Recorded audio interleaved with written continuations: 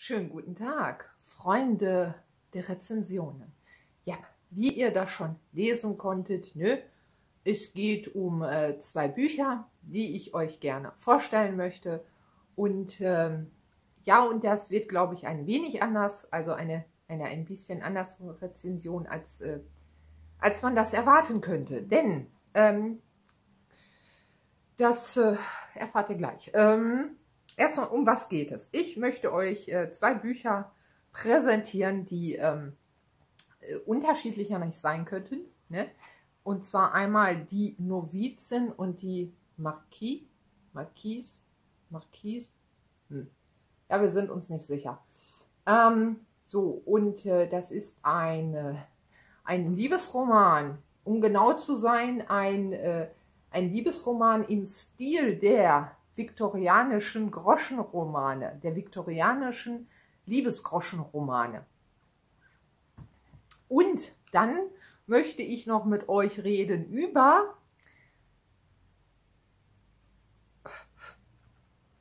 über Staub. Nein, äh, ein, ein Haar. Ähm, über Miller, Mila, Mil, Miller und Sugar. Hochzeit der Vampire. Ja, ein Kinderbuch, das schön glitzert.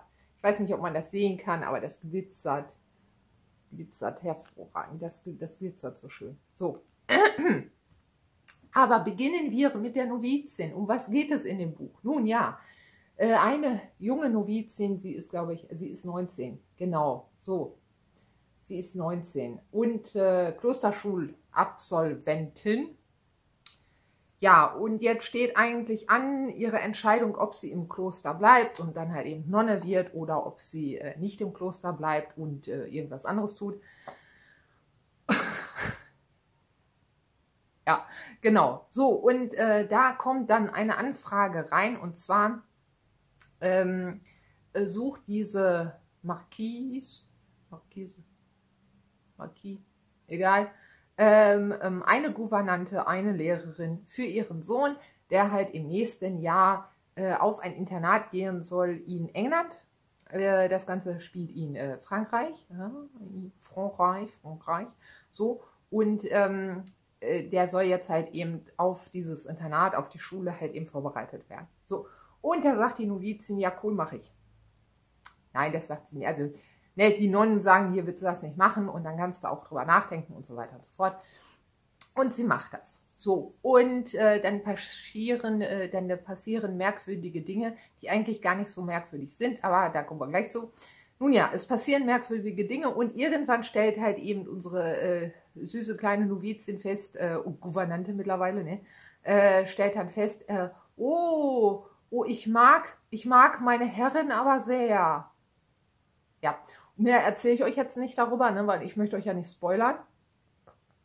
Äh, so, das Buch hatte mich schon, muss ich sagen, hatte mich schon beim Vorwort, ja, weil dieses Vorwort so wunderbar ist, ja, dieses Vorwort ist einfach so wunderbar ehrlich und das äh, ganz toll. Ähm,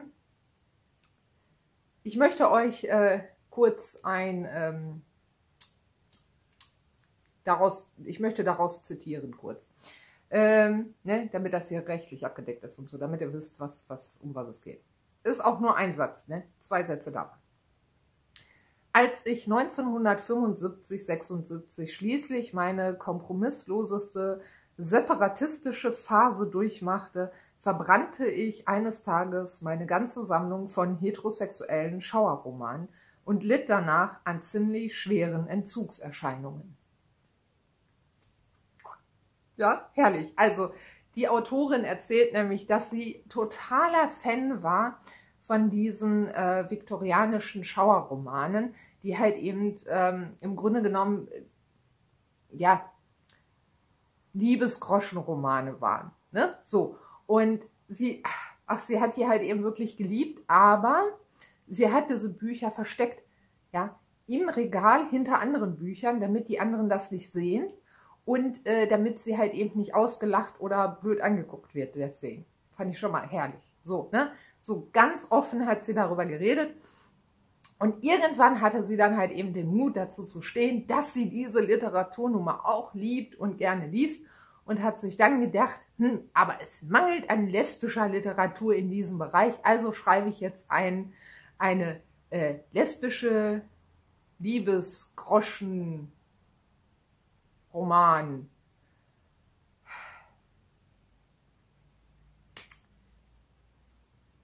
Adaption der viktorianischen Schauergrusel-Liebes-Groschenroman. So, ja. Nee, war jetzt schwierig. Ja, sollte man sich vorher überlegen, was man sagen will. Ähm, und genau das habe ich bekommen. Und das fand ich so toll an diesem Vorwort. Und deswegen hatte mich das Vorwort direkt irgendwie eingenommen oder das Vorwort hat dazu geführt, mich für das Buch einzunehmen, weil da ganz klar drin steht, was es ist. Ein Groschenroman. So, ne? Das tut nicht als ob oder wenn, ne, sondern das sagt, was es ist. Ja, darauf war ich dann vorbereitet und ich muss sagen, es war genau das Richtige. Ja, also äh, nach dem Café am Rande des Wahnsinns ähm, und dann noch so ein paar anderen verstörenden Büchern war das genau das Richtige. Und nicht nur, es war nicht nur auf die Bücher bezogen, sondern halt eben auch einfach auf private Dinge. Ja, ähm, da war das, es war herrlich. Es war so toll. Ähm, ich muss dazu sagen, der Stil, der Schreibstil ist nicht gut. Nein. Die Geschichte ist nicht gut. Die ist so weit von an den, also die ist, die ist nicht gut. Die ist echt nicht gut. ähm, das Problem ist halt eben, ähm, die Geschichte möchte ja wohin. Ne? Also wir haben ein Ziel und ähm, vom Start zum Ziel gibt es halt eben verschiedene Etappen. Ne? Also verschiedene Ereignisse, die dann zu diesem Ziel führen. Jetzt hat man aber auch zwischen diesen Ereignissen, hat man ja immer eine Strecke.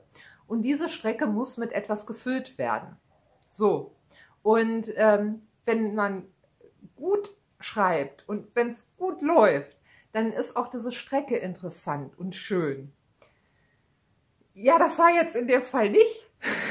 sondern man hatte wirklich, oder ich hatte wirklich das Gefühl, okay, sie hangelt sich jetzt gerade von äh, einem Zwischenpunkt zum anderen und die Strecke dazwischen ist echt ein bisschen Hanebüchern, ne? So, also das war echt nicht gut, wirklich nicht, ja. Ähm, genau, also Schreibstil nicht gut, Geschichte eigentlich nicht gut. Ähm, das Ende war vorhersehbar. Da wurde dann auch noch mal so eine Sexszene rausgeklopft, ne? Dachte ich mir, ja geil. Hätte ich jetzt auch nicht gebraucht, aber egal. Ähm, also das Buch, so, also wenn ich das jetzt so zusammenfasse, muss ich einfach sagen, äh, das Buch war nicht gut. Überhaupt nicht. Ja? Und trotzdem, trotzdem, Leute, ich fand's toll. Ja, das Buch war nicht gut, aber ich fand's richtig toll. Ich fand's richtig toll. Das war genau das, was ich brauchte. Ja, ähm, es war einfach, es war so leicht, ne, so so leichte Lektüre, braucht es auch nicht groß nachdenken, ne, so und ich konnte mich einfach so davon beriesen lassen, ja. Und ich hatte meinen Spaß. Ich hatte meinen Spaß dabei, dass das einfach nicht gut war. Ja, nicht irgendwie, nicht irgendwie Häme, überhaupt nicht, ne, sondern einfach, sondern einfach so, äh, das war so, so richtig schön trashig. Ne? Das war so wie äh, äh, Angriff der, äh, der Killer-Tomaten ne? oder äh, Sharknado. Ne? Das war so richtig trash. Und das brauchte ich. Ach, das war herrlich. So, und ähm, dieses Buch, also äh, wenn ihr mal so was zum Abschalten braucht, ne, so eine richtig gute Portion Trash und ähm, ja, und, und, und einfach mal was so, ne, so was euch amüsiert und, ähm, und gut unterhält, dann kann ich das Buch nur empfehlen. Echt jetzt, ne? So. Und schön ist natürlich auch, wir haben hier äh, äh, Liebesgeschichten, eine Liebesgeschichte, also wir haben hier halt eben äh, mal ähm, homosexuelle Liebe anstatt heterosexuelle Liebe. Also einfach auch mal was Neues, ne? Also, so, ne? Äh, wobei neu, das ist jetzt nicht neu, aber naja, ihr wisst, was ich meine, ne? Äh, davon hat man ja sehr viel. Also heterosexuelle Liebe gibt es ja ganz viel. viele Bücher drüber. Äh, über homosexuelle äh, Liebe gibt es auch Bücher, aber nicht so viele. Und hier haben wir halt eben eins, ne? Und ich kann es nur empfehlen. Ist toll. Ja, ist toll. Ich kann es echt nur empfehlen, wenn man mal Bock hat, so auf Angriff der Killertomaten. Ist äh, toll. So, und das nächste Buch, was halt eben auch in diese Kategorie fällt, ähm, ist einfach dieses Kinderbuch. Ja, das war, ähm, also nicht, nicht, dass das jetzt nicht gut war. Das meine ich jetzt nicht, aber das ist jetzt auch kein, also ich werde die Reihe nicht weiter verfolgen. Ne? Das ist eine Reihe und es geht halt eben um diese beiden kleinen Süßen hier. Ne? Sie ist eine Hexe und äh, sie ist äh, eine Fee. Und ähm, ja, und die beiden sind echt drollig und süß. Ähm, aber ich werde die äh, Reihe nicht äh, weiterverfolgen. Trotzdem ähm, hat mich dieses Buch echt unterhalten und es war toll. Es war halt eben wirklich so, so ein bisschen, äh, das war so, so Erbsensuppe. Ne? Oder Hühnersuppe. Ja? Fühlst dich, fühlst dich scheiße, dann isst du halt eine Hühnersuppe. So, ne? Und das war so, das war so Hühnersuppe. Ich habe das halt gelesen, ähm, also es geht, es geht um das, was draufsteht, Hochzeit der Vampire, so, ne? Äh, ähm, eine Freundin der Mama unserer kleinen äh, Hexe, ne? So, äh, die ist äh, Vampirin und die will heiraten. So und und äh, jetzt, ähm, ja, und, und das Coole ist, die ist auch noch Stuntfrau. Ah, die ist auch noch Stuntfrau. So, naja, und auf jeden Fall wollen die jetzt, äh, fahren die dann zu ihr hin und äh, wollen diese Hochzeit feiern. Und dann gibt es dann halt eben so ein paar Probleme und deswegen muss erstmal diese Hochzeit gerettet werden. Und das ist ganz abenteuerlich und spannend und so. Ne? Und sind auch total süße Illustrationen drin. Also die Illustrationen sind wirklich schön und süß und putzig und überhaupt. Und ähm, ja, auch das brauchte ich einfach. Ne? Brauchte ich. Das hat so ein bisschen so mein Gemüt beruhigt, meine Gedanken beruhigt und ähm, und es hat mich auch sehr an meine Kindheit erinnert, muss ich sagen. Nicht, weil ich solche Bücher in meiner Kindheit gelesen habe, sondern wegen diesen beiden Mädels. Ich habe euch das ja, glaube ich, damals erzählt, dass ich dieses Buch gekauft habe. Einmal das und noch eins für meine Freundin, weil halt eben wir damals in der Schulzeit ähm, hatten wir uns so Shirts gekauft und bei meiner Freundin stand Sugar drauf, bei mir stand Babe drauf und dann hatten wir halt eben diese Spitznamen Sugar und Babe. Ja. Ja, und wir sind auch neben, nebeneinander so hergelaufen. Ich bin gefragt worden, ob wir dann auch so als Sugar Babe rumgelaufen sind. Und um Gottes Willen, ja, das sind wir. Uns ist aber nicht in den Sinn gekommen, dass man das zusammenlesen könnte. Meins war blau, also hatte so blaue Ärmel und äh, ihrs hatte rote Ärmel. Und ähm, ja, wir sind zusammen so rumgelaufen. Wir waren jung und brauchten das Geld. Was soll ich sagen? Auf jeden Fall äh, fand ich das total lustig. Jetzt steht da zwar nicht Babe, ne, aber da steht Sugar. Und was ich halt eben so lustig fand, war, damals hatte ich auch meine Haare noch ein bisschen kürzer, wobei jetzt sind sie auch wieder ein bisschen kürzer. Ne? Und wie ihr sehen könnt, umso kürzer meine Haare sind, umso puscheliger werden die, umso lockiger. Ne? Und lustigerweise, so als Teenie hatte ich dann auch immer rot, rot gefärbte Haare. Ja, also boah Mann, teilweise war das richtig, richtig rot. Ähm, so, ne? Und deswegen Blassbacke mit roten Haaren, ja, so. Und meine Freundin hat halt eben lange schwarze Haare, wobei die hatte auch zwischendurch kurze Haare, aber äh, sie hat halt eben schwarze Haare und ist auch so vom Teint ein bisschen dunkler als meiner einer. So, was ja auch nicht schwer ist, ne? Das ist ja fast jeder. Ähm, und deswegen fand ich das halt eben so lustig und dann habe ich das halt gekauft, ein Exemplar für mich und eins für meine Freundin. Äh, und, äh, und ich muss sagen, ja, das erinnert mich auch irgendwie so ein bisschen an, an meine Kindheit. Allerdings äh, nicht an meine Jugend, sondern wirklich an meine Kindheit. Also die Dinge, die die beiden so tun. Ne? So, und, und die Fantasie, die dahinter steckt. Und ähm, äh, ja, und, und da äh, kamen so Kindheitserinnerungen auf, wie ich selber dann halt eben so Fantasiewelten erschaffen habe. Und, äh, und wie sich dann halt eben auch die Realität manchmal so verändert hat. Ne? Also ähm, jetzt nicht wirklich, sondern so in meinem Kopf. Ne?